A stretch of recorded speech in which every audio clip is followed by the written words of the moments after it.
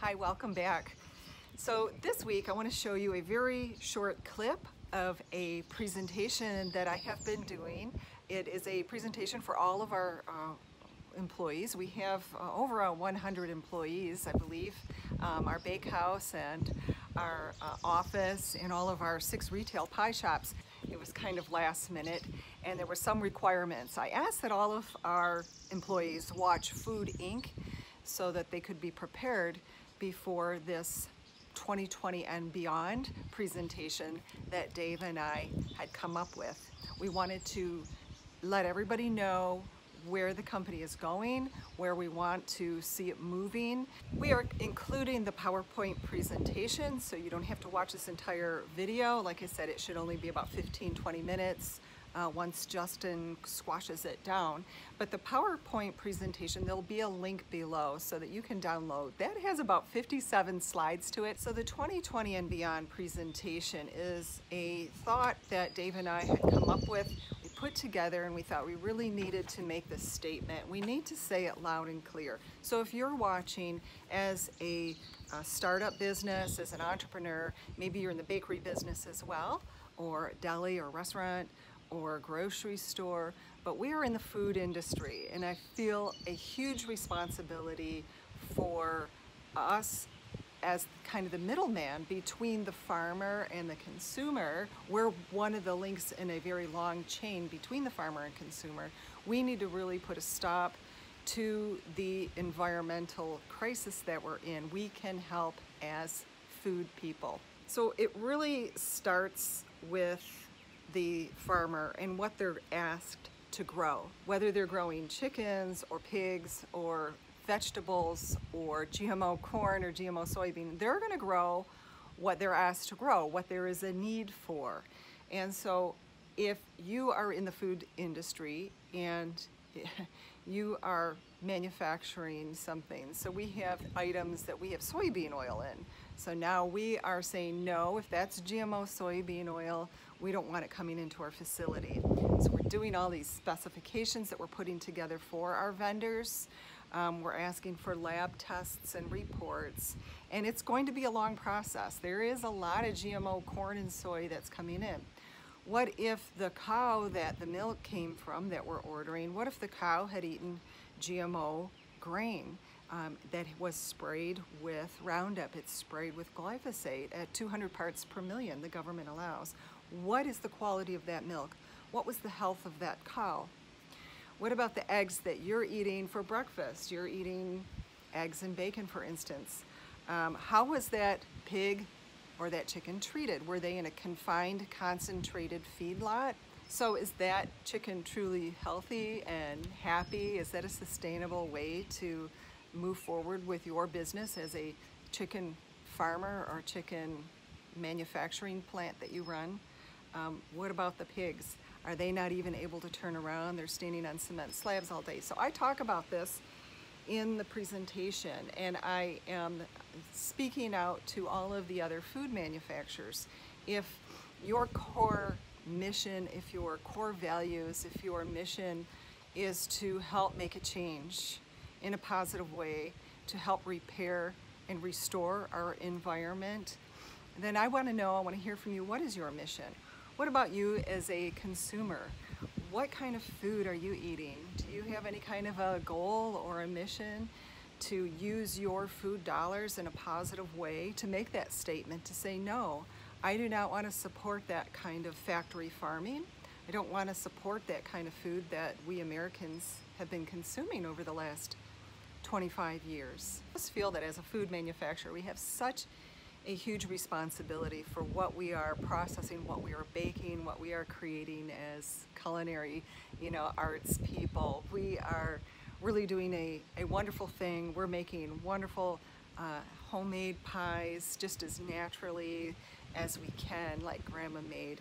And so it really, you know, hits home to us that if we don't feel good about eating this pie ourselves or our children eating this pie, then we don't want to sell it to our good um, customers who've supported us for 26 years. So here at Achatz Pie Company, we're making some big changes. I know so many of you are for it, you're rooting for us, and you're supporting us. I've heard it in the comments below. Um, how passionate some of you are um, about the chemicals and the pesticides that we're finding on our food.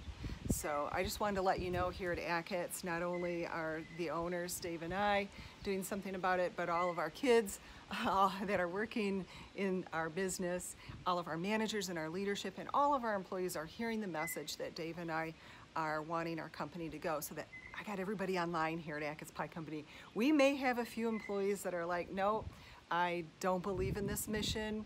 Uh, I don't like it. I don't support it. And so that's another way, another piece of business advice for those of you who are watching as entrepreneurs or startup businesses. Really get your core values down before you launch this ship because we've got a ship with 100 employees on it and there may be some employees that we've hired in before we put these statements down in writing. So my suggestion to you is get your mission down, get your core values down, put it down in writing and then you'll attract the right people who, you know, are thinking the same as you, who are excited about your mission. So it's more about um, how you feel when you come to work. Are you part of a bigger thing than just yourself? Um, so that's my business advice for the day. All right, you guys, I hope you enjoy the video. Give me a thumbs up if you like it, and please share it with a friend. Um, we're trying to build our subscriber base to 1,000. So when we have our 1,000 subscribers, we're going to do that free slice pie, free slice of pie for all our subscribers again. So feel free to pass this on to someone that uh, you feel would, would like to hear what we have to say here at Achatz Pie Company as well. All right, cheers. This is stuff that we need to talk about. We're in the food business. Some of you guys love being in the food industry. Some of them, some people not so much. So what I'm trying to do is attract a group of people that can help move the company in the right direction. This is called 2020 and beyond. So by next year, we'll be hitting our 27th year. Like I said, there might be some people that really care about what we're doing, really care about the pie that we're serving, the bread, or whatever we're making that we're serving to the American public. And I'm really concerned about it. My brother in law was a farmer for four generations when the GMOs came out, he had to stop farming. He just couldn't do it anymore. But it really um, benefits one company, and that's Monsanto. It doesn't benefit us, it doesn't benefit the farmers. And I've talked to a lot of farmers about um, all of the chemicals that they put on their land. But we're still losing topsoil to that tune every year. 6.9 billion pounds of topsoil is about the size of Illinois. Every year we're losing that. Where does it go? Where's it, where do we lose it to? Does it evaporate like the Dust Bowl?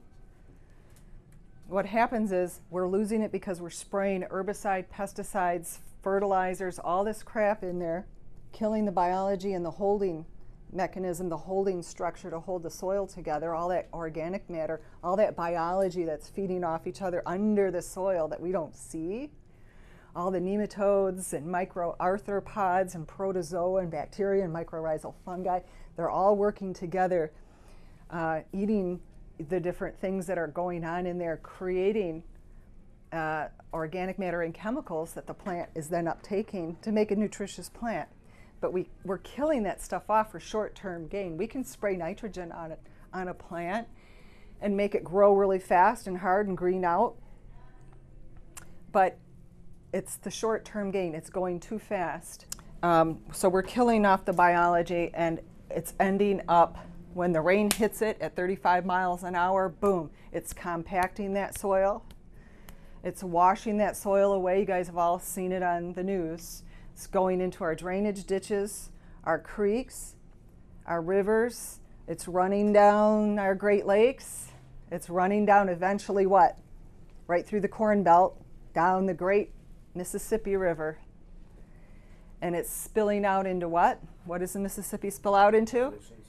What ocean? The Gulf. The Gulf of Mexico, where we have created the second largest dead zone in the world. But now, what's an, uh, GMO is soybeans and corn.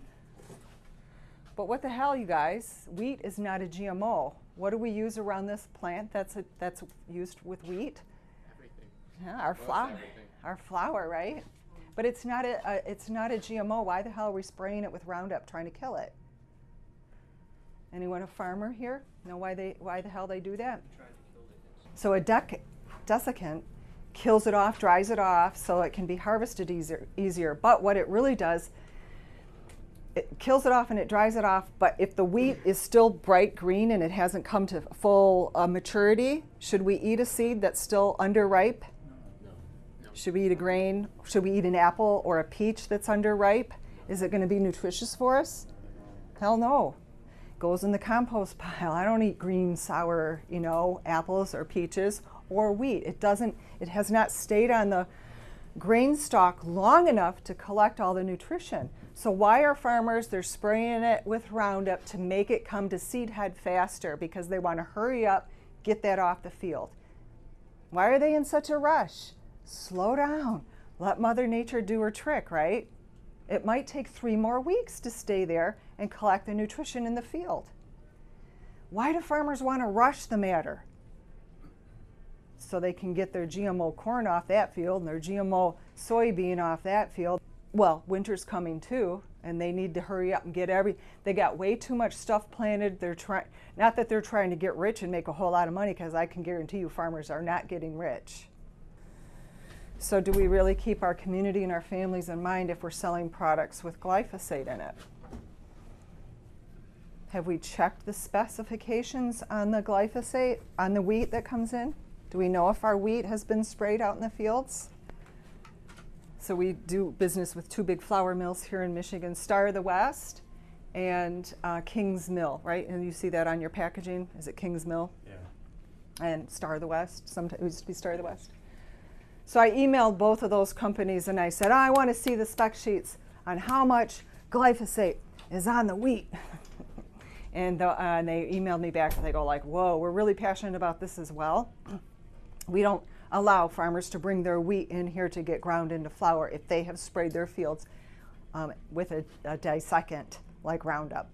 I said, oh, I'm so happy that you're on board with that. And they said, but I want to let you know Pandora's box has already been opened. Glyphosate is everywhere. It's in our rain, it's in our waterways. Just like Rachel Carson was talking about DDT, silent spring. Glyphosate has already got, gotten everywhere. So I'm like, oh no, well, what is your level? you know? Don't worry, Wendy, it's well below EPA's uh, recommended daily allowance. I don't trust the EPA or the FDA or the USDA to tell me what's safe because when glyphosate first came out in 1993, uh, Roundup, was patented by Monsanto, they were able to get it into the farmland um, pretty easily and they said to the FDA, it's safe, it doesn't cause cancer. And they said, all right, well, how much will you allow to be in the human food chain? All the way up from our cornflakes to our oatmeal to our muffins to everything. 0.01% parts per million. And I don't want to sound like a conspiracy theory person, but so they were at this much parts per million when they first started out. Now they are at 30.0 parts per million. So, do you guys, who takes a probiotic every day? Or who eats yogurt? Or drinks kombucha? We're all trying to build our gut bacteria up because that fights the pathogens, the bad bacteria that comes in, like a cancer cell or, uh, you know, something that's going to cause some kind of illness or sickness and take hold and grow. So, just like you're trying to keep, you know, everybody healthy with the right biology, so this, I've done a lot of research, and at the end of this program, I have two pages of resources that if you want this PowerPoint presentation with those resources, I'd be happy to give. This is Dr. Stephanie Seneff um, and her colleague. She's a uh, senior research scientist at MIT, and she's done some pretty phenomenal studies. But this is what she's saying that glyphosate does. It's a micro uh, micro, it's an antimicrobial. So that means it kills off our biology. We have seven pounds of biology just in our gut from here to here. But we're covered in all kinds of little creepy crawlies, right? We need them. We don't want to kill them off. So So this was interesting. I'm just going to explain the first chart to you, and then we're going to blast through the rest of the charts real easy. Can you guys all see that? So this is called an overlay chart. So my uh, scientist that I was talking about from MIT was able to grab some of these charts and overlay them with incidents of health issues. So the chart that she started with was this chart. The blue line is percentage of just two genetically modified crops that are planted, soybean and corn. And so 1975 we were planting none. Right around 93, and guess who the first state was that GMOs were introduced to from what I understand? The Great Lakes state. Thanks. What a great state to experiment with. The one that we have so much water, right? So they they started planting the GMO seeds. This is the blue line. Look at how crazy. That's like Thanksgiving, right? And then the red line is how much glyphosate. Now, they told us we wouldn't have to spray so much of this herbicide if we use the GMO crops. Well, it doesn't look like that's a factual statement because it looks like we're spraying a lot more Roundup and glyphosate. The, this yellow line is the rate of thyroid cancer. Now, here was the trend. It was kind of jig jagging around here, and the green line tells us what they thought the trend would be per 100,000 people. So I know that the population has grown, but that they took that into consideration when they, when the health, you know, the scientists that are studying thyroid cancer did. This was their forecast, just like we forecast what our sales are going to be. We forecast what our labor is going to be, right? We come in here every Tuesday. We meet about our forecast and then what we actually did, right? They forecasted that it would still be around zero between, you know, maybe just one per every 100,000 to under that for thyroid cancer. But look at how it shot up, you guys. That seems like a really crazy coincidence. Here's another chart. Again, the blue line and the red line are the same. Soy, GMO soybeans, GMO corn. And here's the prediction was the green. This is for incidence for diabetes out of every thousand people. But now look at it, it's up to almost 90 per every thousand. A lot of people are getting diabetes. Maybe we're just drinking too much high fructose corn syrup. Here's another one hypertension. But look at that green line. Why is this stuff going up, do you think? So we're killing off the good biology that's in our body that's supposed to be fighting this stuff. So, what about animals that are fed, let them eat it. We're going to kill them anyway, like you said, right? If they get sick, we'll just kill them and eat them. So let them eat the damn GMOs. So this is what uh, Americans are doing. This is you, if if you eat it, you should be able to support this. You should be able to look at it.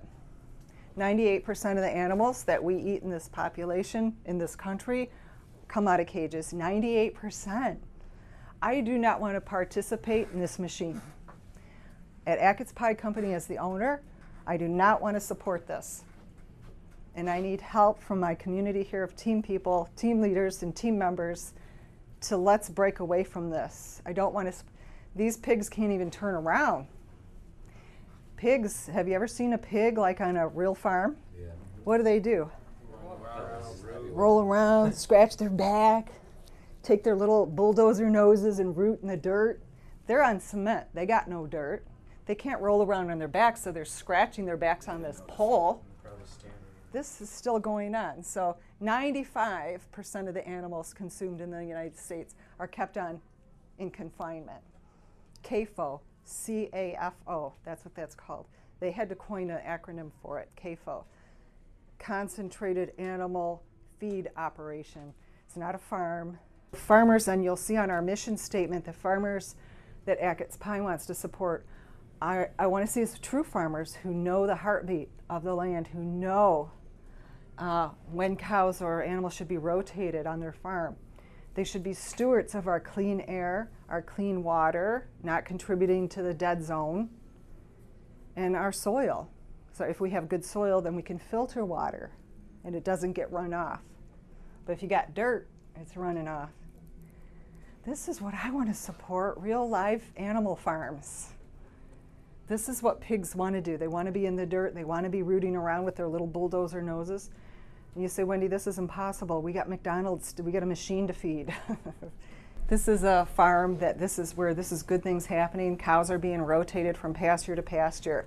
So once the cows eat a third of that pasture and they poop on another third of it and they stomp down another third of it like the buffalo used to, what did the buffalo do after they did that? Move on. What? Move on. They moved on. They didn't stand. in- They don't poop where they eat. They keep moving. They'll leave the grass down so far too, so they Yeah. won't eat it after a while. T- to me, that looks like they're getting ready to get moved because you have to worry about the herd under the soil. Are we giving back to the soil? We're taking off, but are we giving back? We're worried about the little protozoa and the microarthropods and the mycorrhizal fungi and all those little the herd under the soil that I talked about earlier that's doing that cycle nutrient. But if we overgraze, then we expose our soil and then we create dirt. So these guys are what are they giving back to the little microbes? Wonderful fertilizer. Yeah. I want to support these guys. I don't want to support this guy. This is a concentrated animal feedlot. Cows are ruminators. They need to be eating grass and the healthy alfalfa and timothy and clover and all kinds of things that grow in the fields. They shouldn't be licking dirt all day or eating. They're, they're so damn hungry, they're going to eat that corn that's put out there for them. And then they're going to get sick and they're going to get belly aches. They should never eat grain. Cows should never eat corn. They're ruminators. They have four stomachs. They should eat grass. Cage free. Oh, we're supporting cage free eggs here, right? This is cage free. This isn't satisfactory to me either. That's what you do when you try to do short term gain. Get as many of them crammed in there as tight as you can. This is what I want to support. So, what are we going to do here at Achatz Pie Company? What decisions should we make? We're going to meet our farmers, and you guys remember when the Amish guys came around and toured twice so far? They're up in Mio, Michigan, and I was able to find them. They were doing the right thing. They were pasture rotating their cows to do. We have electric fence, right? Our great grandfathers would have died for this technology instead of building and chopping split rail fences, right? We had electric fence. We could rotate these cows around the pasture. So these Amish guys were like, we've been doing uh, this good farming all of our life. Monsanto never influenced them to plant GMOs or to buy their chemicals. They've been getting the animals out on the land for generations. That we're going to be paying them three times more for their grass fed milk. How much do you think we'll have to raise the price for that? Only 15 cents for something that we can help farmers stay on the family farm, not go. You know how many dairies right now are sending all their cows to slaughter? They just cannot afford to stay in business. And I feel if a farmer is there for generations on the family farm, they should be able to stay on the family farm and make a decent living for their family. Feel free to reach out, or now that you're thinking and you're digesting, this is the direction that we want to go at Achatz Pie Company. We want to make a difference on the planet, in our community, with your mind, you know, with it, keeping everything in our mind of what we should be doing sustainably, but not sustaining the bad farming practices, but regenerating. So I don't even like to use the word sustainable. I like to say I don't want to sustain that GMO soybean field that's across the street from me, or sustain that 30 cows that, that my neighbor has penned up in his. I don't want to sustain that. You know, we want to evolve and grow and regenerate the soil. So that's where we want to go in the next 20 plus years. Thank you for your time, you guys.